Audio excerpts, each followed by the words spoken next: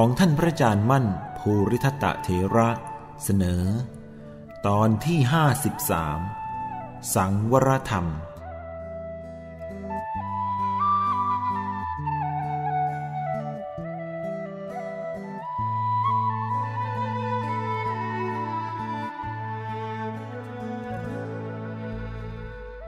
เรื่องการพูดคุยอะไรกับท่านพระอาจารย์มั่นแบบไร้สติว่า ควรอย่างไรไม่ควรอย่างไรบ้างนี่ เคยโดนท่านดุมามากรายแล้ว บางรายถึงกับเสียสติในวาระต่อไปก็มี มีพระรูปหนึ่ง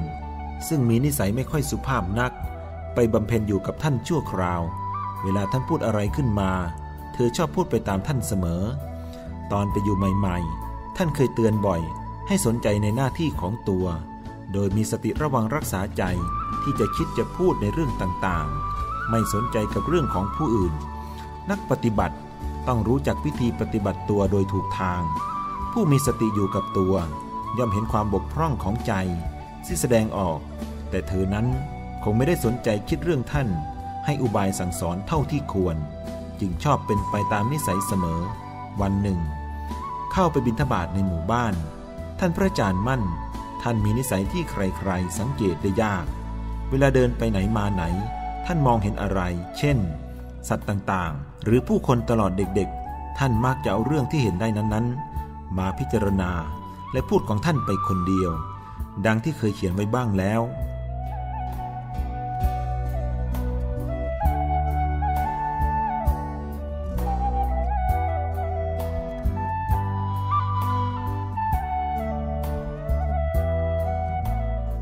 วันนั้น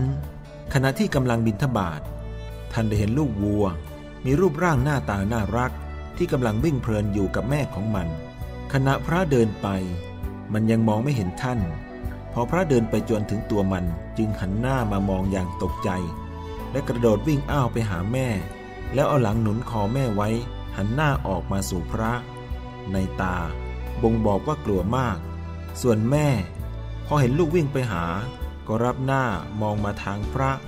เพราะรู้แล้ว ก็ทำเฉยตามนิสัยของสัตว์ ที่เคยกับพระมาจำเจแล้ว แต่ลูกของมันยืนตาจับจ้องอยู่ใต้คางแม่อย่างไม่ไว้ใจ เมื่อท่านพระอาจารย์มั่น เห็นอาการของทั้งแม่ทั้งลูก ที่แสดงอาการต่างกันเช่นนั้น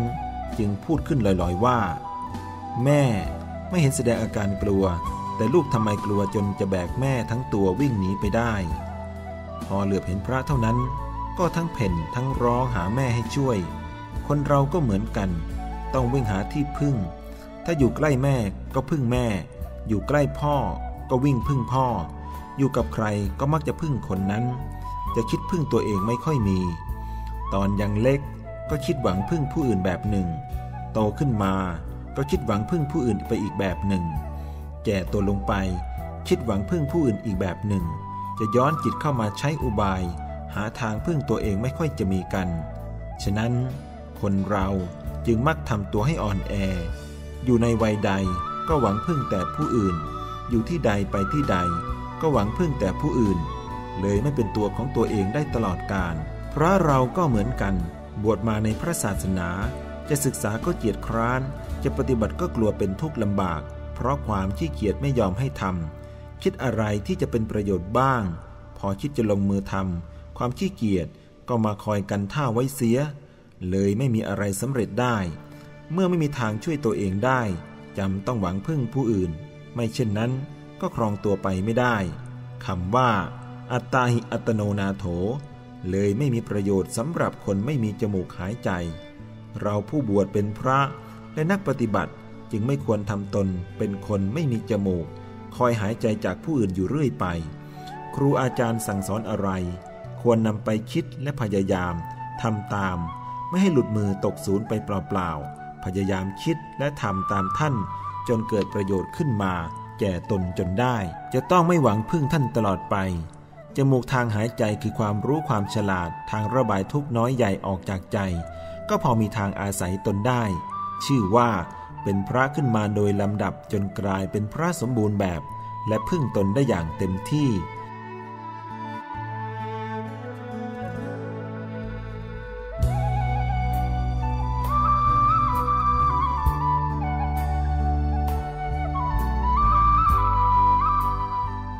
พูดเป็นเชิงสอนพระหรือสอนใคร ก็สุดแต่ผู้จะพิจารณานำมาสอนตนคำพูดท่านยังไม่จบเรื่อง ซึ่งพอจะแทรกขึ้นในระหว่างท่านหยุดชั่วคราว แต่พระองค์ไม่ค่อยพิจารณานัก ก็พูดพล่ามไปตามท่าน โดยไม่ได้สำนึกว่า ควรหรือไม่ควรเพียงไร ความบ้าของเธออาจจะเข้าไปกระทบธรรมภายในของท่านอย่างแรง จึงทำให้ท่านหันหน้ากลับมาชำระเสียบ้าง พอให้พระองค์ที่มีสังวรธรรม พลอยตกตะลึงกลัวไปตามๆกัน ใจความว่า ท่านนี้จะบ้าเสียแล้วกระมังนี่ พอตามองเห็นค้อน มองเห็นไม้ ที่ใครโยนมาแต่ทิศใดและแดนใด ก็คอยแต่จะกระโดดกัดร่ำไป เหมือนสุนัขบ้า ไม่มองดูใจที่กำลังจะบ้าอยู่ขณะนี้บ้างเลย ผมว่าท่านจะบ้าแล้วนะ ถ้ายังขืนปล่อยให้น้ำลายไหลออกแบบไม่มีสติสตังดังที่เป็นอยู่ขณะนี้ ว่าเท่านั้น ก็หันกลับและเดินเข้าที่พักไม่พูดอะไรอีกต่อไป มองดูพระองค์นั้น หน้าตาพิกลอย่างพูดไม่ออก ตอนมาถึงที่พักแล้ว ขณะฉันก็เห็นเธอฉันนิดเดียว พอเห็นอาการอย่างนั้น ต่างองค์ก็ต่างนิ่งเฉยทำเหมือนไม่รู้และไม่เกี่ยวข้องกับเธอ เกรงว่าจะอาย เวลาอื่นก็ทำเหมือนไม่มีอะไร ต่างองค์ต่างอยู่และบำเพ็ญภาวนาไปตามที่เคยปฏิบัติมา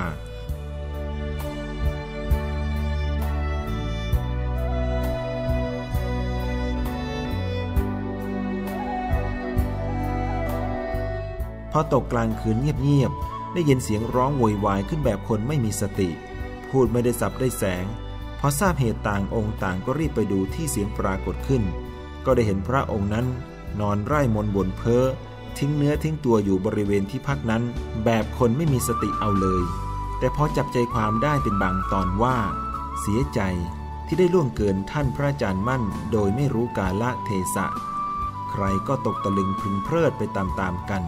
และต้องรีบไปตามชาวบ้านมาช่วยพยาบาลรักษา คือ หายาแก้ลมเป็นต้นมาให้เธอฉัน คนนั้นบีบคนนี้นวด ตามบริเวณร่างกายอยู่พักหนึ่ง จากนั้นก็สงบและนอนหลับได้จนสว่าง พอวันรุ่งขึ้นก็มีคนมารับเธอไปหาหมอฉีดยูกฉีดยาให้เธอ อาการก็พอลดลงบ้าง แต่ก็ยังมีอาการกำเริบเป็นคราวๆพอใครยังชั่ว ก็ส่งเธอกลับบ้าน หลังจากนั้น ก็ไม่ทราบว่าโรคหายหรือเป็นตายอย่างไร ผู้เขียนก็ทราบจากพระที่อยู่ด้วยกันกับเธอในเวลานั้นเล่าให้ฟัง ทั้งนี้พูดเรื่องโดนดุ ถ้าโดนพอเบาๆก็พอให้ผู้ถูกดุได้สติและระวังตัวต่อไป ถ้าหาเรื่องให้โดนดุอย่างหนัก และผู้ถูกดุไม่มีสติปัญญาพอจะถือประโยชน์ได้ มักมีทางเสียได้ดังที่ปรากฏมา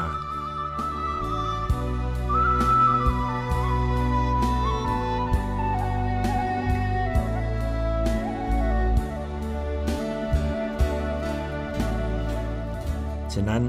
ผู้อยู่กับท่านจึงอยู่ด้วยความระวังสำรวมอย่างยิ่ง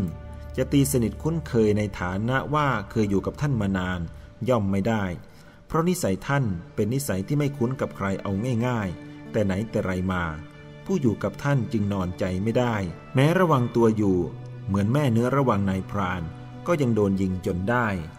เท่าที่ทราบจากครูบาอาจารย์ที่เคยอยู่กับท่านมาก่อนว่า ถ้ามีเฉพาะท่านที่มีภูมิจิตใจสูงอยู่กับท่าน การวางตัวท่านก็ปล่อยตามนิสัยที่รู้จักท่านดีแล้ว คือแสดงกิริยามารยาทตามธรรมดาธรรมดาสบายสบายเหมือนผู้ใหญ่อยู่ด้วยกัน ไม่ค่อยเข้มงวดกวดขันนัก แต่การเปลี่ยนแปลงทางมารยาทท่านรู้สึกเปลี่ยนแปลงได้อย่างรวดเร็วจนตามแทบไม่ทัน อยู่สถานที่แห่งหนึ่งเป็นอย่างหนึ่ง สถานที่แห่งหนึ่งเป็นอีกอย่างหนึ่ง ตามแต่เหตุการณ์ที่ควรเปลี่ยนแปลงไปตามสถานการณ์ สถานที่และบุคคลนั้น และเปลี่ยนแปลงได้อย่างรวดเร็ว ทั้งไม่ซ้ำรอยกันเลย นับว่าเป็นเรื่องที่แปลกประหลาดสำหรับผู้ไม่สามารถทำอย่างท่านได้ เวลาว่างโอกาสดีๆ ท่านเล่านิทานให้ฟัง ซึ่งโดยมากมักขันขัน และน่าหัวเราะทั้งนั้น จึงขอยกเรื่องท่านเล่ามาให้ท่านผู้อ่านทั้งหลายฟังเล็กน้อย พอทราบว่าคนคนเดียว มีการเปลี่ยนแปลงตัวอย่างอย่างน่าอัศจรรย์